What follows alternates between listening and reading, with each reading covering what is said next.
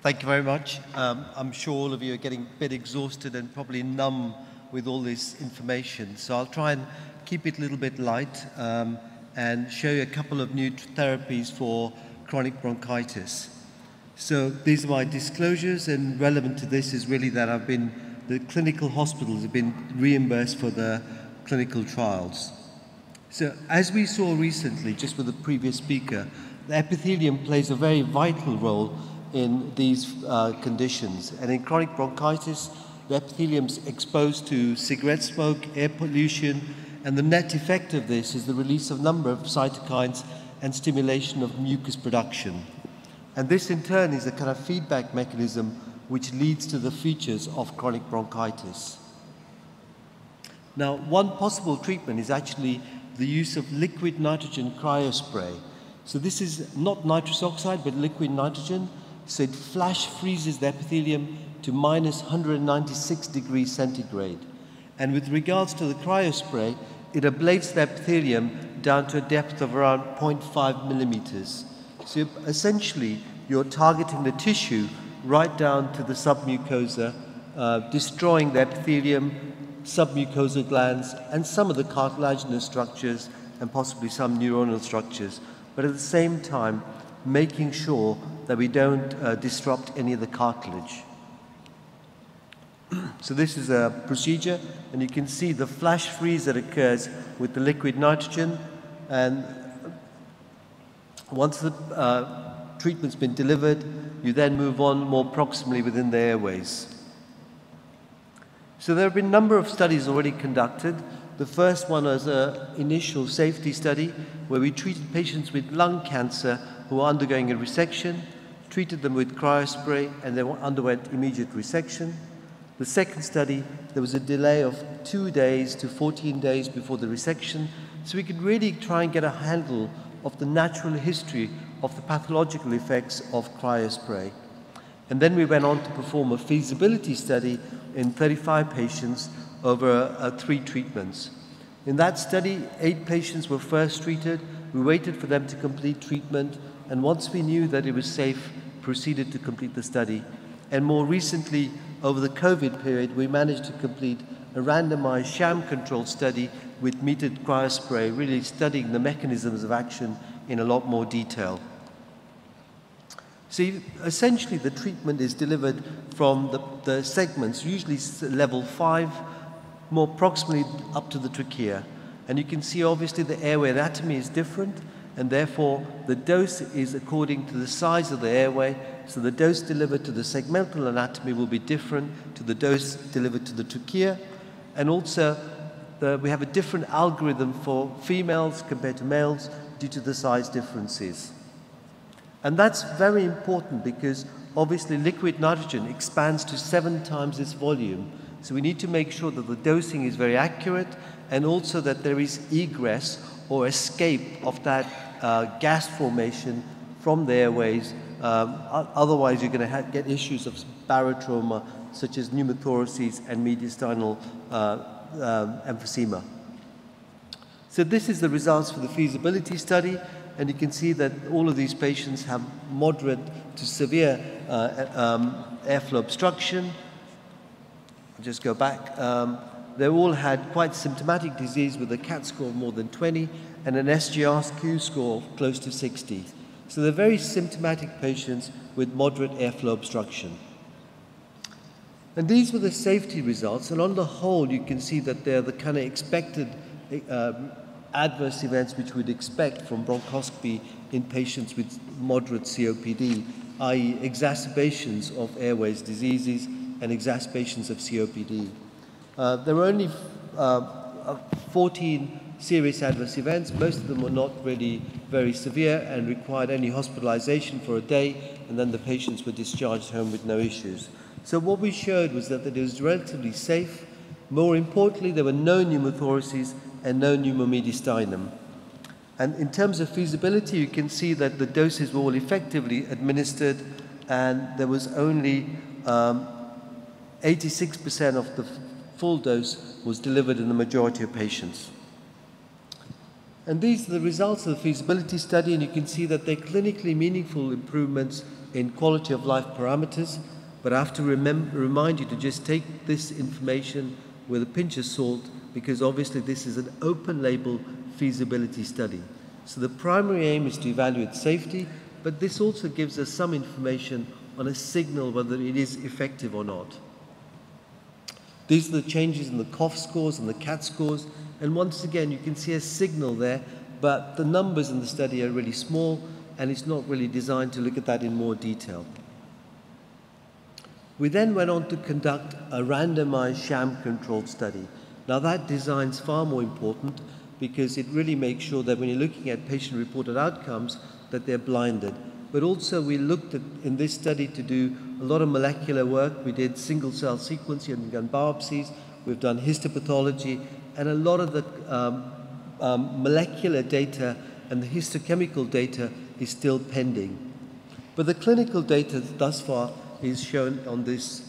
This is the baseline demographics, and you can see most of these patients have smoked quite heavily.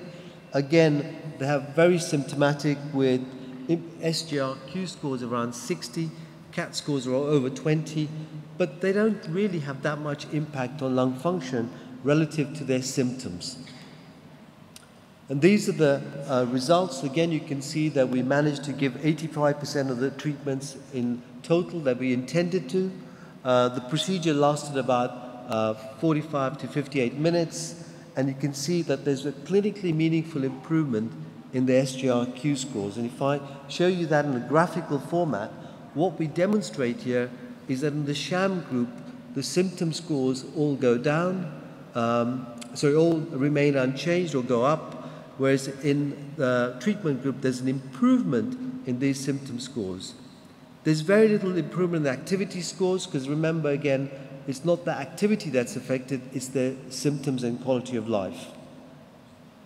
So what we've got so far is that uh, liquid nitrogen cryospray treatment, the RejuvenAir therapy, appears to be safe, it appears to be feasible, there is a signal of efficacy, but actual efficacy is currently being evaluated in a large-scale multinational randomized controlled study, and hopefully we'll get some data over the next uh, 24 months. I'd now really like to turn my attention to another method for achieving the same thing. So once again, what you're trying to do is to ablate the epithelium, and in this case, we used um, electrical pulsed wave energy to achieve this. So as most of the people in this room like doing, we perform a bronchoscopy and then insert a catheter into the area that we're going to treat them. You expand this wire basket and then apply this pulsed electrical field energy, which is timed in sequence with the QRS complex. And what basically happens is you get ionic shifts within the cells, causing cell lysis, but the actual extracellular matrix is preserved. And this allows the mesenchymal stem cells to repopulate more effectively, leading to restoration of the normal epithelium.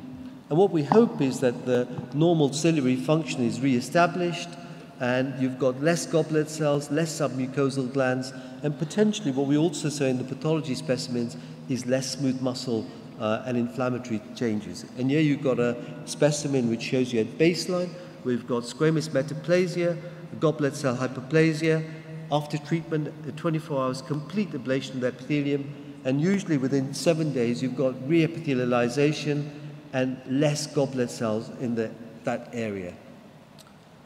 So here's a video of the procedure. This is one of the procedures we performed a few weeks ago.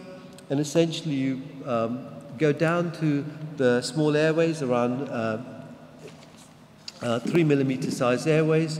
You expand this uh, wire basket. Once you've got full uh, expansion, you apply the energy, and then you move proximately, treating all the various subsegments and moving proximally right up to the right main bronchus, and if you're treating the left side, up to the left main bronchus. So it's a sequential procedure, very similar to bronchial thermoplasty, uh, but with some subtle uh, differences. The basket and everything is much longer. There's a much more closer electrical connection with the mesh, um, and also, therefore, uh, you're, you're getting a very more continuous treatment than with bronchial thermoplasty. And these are the results of several studies that were performed. The first column shows the results that were performed in Europe. Um, uh, Australia and South America. The second one is a Canadian study, and the third one was a, a US feasibility study. And once again, you can see that the patient demographics, that these patients had a lot of symptoms, high SGRQ score, high CAT score, high cough score. So very symptomatic patients. And the results really show that once again, they're relatively safe with no major issues. These are the pathological findings, which are very interesting, and you can see that the amount of goblet cell hyperplasia is reduced post-treatment and appears to be maintained up to a four-month period. This is even more fascinating because here you have a CT scan performed at inspiration and expiration at baseline and following treatment. And you can see actually that the airway volume after treatment is much larger. So why does that happen? And it's probably a combination of effects in the terms of reduction of mucus plugging, but possibly that smooth muscle ablation that also accompanies this may lead to a little bit of bronchodilation. And what the net effect is a 20% improvement in airway volume. Quite remarkable improvements in SGRQ. I'm not sure I believe this incredible improvement. And I think we should all be a little bit hesitant and uh, skeptical because this is an open label study, but the, um, all the data seems to be going in the same direction. Improvements in SGRQ, as I've shown you, improvements in the CAT scores, and improvements in the symptom scores with SGRQ. So signals in three different clinical trials, all going the same way, and really looking forward to the results of the pivotal randomized sham control study that we're conducting at the moment. So again, these results should be available in the next 18 months. So this again just reinforces the data seems to uh, be very stable. You've got static changes up to two years out now. And more importantly, what we're seeing here is a reduction in exacerbation rate. A lot of the data from the past shows that these mucus hypersecretors are the ones who get the greatest decline in lung function. They also have the greatest morbidity and mortality and exacerbation rates. And what we're seeing is a signal towards improvements in exacerbations following treatment. And this is just one of the slides which shows it quite elegantly. The right side was treated. When we came to do the second bronchoscopy, you could see the left side was full of mucus, but the right side is still pretty clear. The, finally, I'm going to finish on targeted lung denervation. So the vagus nerve, we all know, mediates bronchospasm, but also mucus secretion. So if you ablate the vagus nerve, potentially we will get some improvements in cough and sputum production. And this is uh, the Nuvaira system for targeting lung denervation, which essentially works by expanding the balloon uh, to the airway. The balloon cools the mucosa, and therefore the radio frequency energy is actually delivered about 8 millimeters outside that area, which happens to be where you have the nerves running on the airway. And basically, you treat a 90 degree quadrant, you then rotate, treat the next 90 degrees, and so forth. There are some subtleties with this procedure. For example, if you end up treating the esophageal nerve, because that plexus can be close in some patients, then they get side effects of gastroplexy and gastroparesis. So it's very important that we measure the distance of the esophagus to where we're treating, but also we use cooling balloons in the esophagus and various subtleties uh, to do this. And this procedure is done under fluoroscopy to maximize the positioning of the electrode against the uh, um, airway to try and make sure that we're ablating correctly. These are the results from Airflow 2. This was a randomized sham control study, and what you can see is there's a quite remarkable reduction in a number of symptoms, which include cough, dyspnea, bronchitis, but also, very importantly, reductions in the exacerbation rates. You can see improvements in quality of life, particularly uh, SGRQ symptom scores, and then once again, we are getting that signal of a reduction in exacerbation rates. So all of these therapies look extremely promising, and I think in the next two years, you're going to see a lot of action on uh, chronic bronchitis, cryospray, lung denervation, rheoplasty, and remember, prevalence of chronic bronchitis is way over 10% in the population. So this is a therapy that's applicable to a large population of patients. Thank you, and I'll stop there.